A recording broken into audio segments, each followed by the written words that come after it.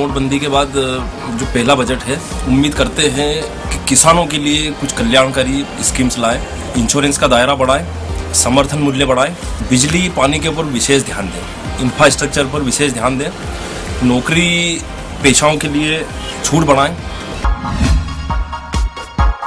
भाई सर्वप्रथम तो मध्यम वर्ग के लिए कुछ भी राहतें आवश्यक है, ठीक है? और जो छोटी इंडस्ट्री है उनको इन कम से कम कुछ रिलीफ दी जाना चाहिए। और तीसरी और सबसे बड़ी चीज़ है कि ये जॉब ओरिएंटेड बजट होना चाहिए। अगर ये तीन काम होगा तो बहुत अच्छा है। हाँ तो बजट आने वाला तो ये लग रहा है कि जैसे गवर्नमेंट ये प्रमोट कर है कि कैशलेस इंडिया को कैसे आगे ले जाना है। तो उसमें सब्सिडरी दिया ना, दिया जाना चाहिए।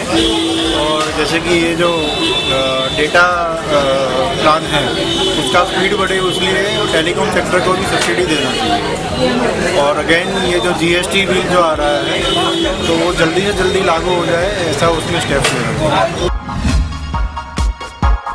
बजट होगा, क्योंकि जब से ये गवर्नमेंट आई है, अगर आप इसका पहला बजट भी देखें तो they have given lot of relaxation to common man अब mister Arun Jaitley has raise the tax rate up to fifty thousand तो now when government is cash rich I am expecting some benefit for common man in terms of increasing of tax rate second is there multiple option which people are talking home loan rates कम आना चाहिए banking rates कम होनी चाहिए.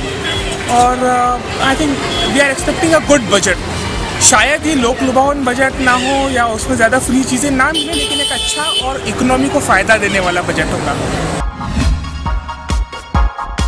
जनता को राहत मिले। आम जो यूज़ की जो चीज़ें हैं, खाने पीने की और चीज़ें हैं, ये मतलब वो ऐसी हो कि आदमी के परचेज से बाहर ना हो। महँगाई जो है वो कम होनी चाहिए। टैक्सेशन जो है वो कम करे। अभी इनको पैसा काफ़ी मिला है, जो टैक्स वगैरह हैं वो कम होंगे तो क्या है कि अपने आप ये चीज़ें जो हैं, वो अभी जैसे ऑयल ऑयल के, तेल के, कच्चे तेल के इसके दाम बढ़ रहे हैं पेट्रोल डीजल के तो ये कम होगा। उससे क्या रहेगा कि कम से कम और चीज़ें कम हो जाएँगी ट्रांसपोर्ट वगैरह कम जो होता है। ट्रांसपोर्ट के अगर दाम कम होते हैं तो उससे लोगों को राहत मिलेगी। सरकार को यह ध्यान रखना चाहिए कि ये पहला बजट नोटबंदी के बाद का है तो इसमें ज़्यादा में ज़्यादा गरीब वर्ग को, व्यापारी वर्ग को सहायता दें। इसके लिए उनको ध्यान केंद्रित करके व्यापारी वर्ग को और गरीब वर्ग जो है, उनके लिए क्या ईजीनेस हो सकती है? धंधे में। सब धंधा नोटबंदी में ऐसा पिट गया है, लोग बाग तीर्थ यात्रा भी नहीं कर सकते और घर में भी नहीं बैठ सकते हैं। इसलिए ऐसा कुछ माहौल बनाना चाहिए नोटबंदी के बाद में कि सरकार को कि बाज़ार में एकदम खुला वातावरण हो और व्यापार ढंग से चले।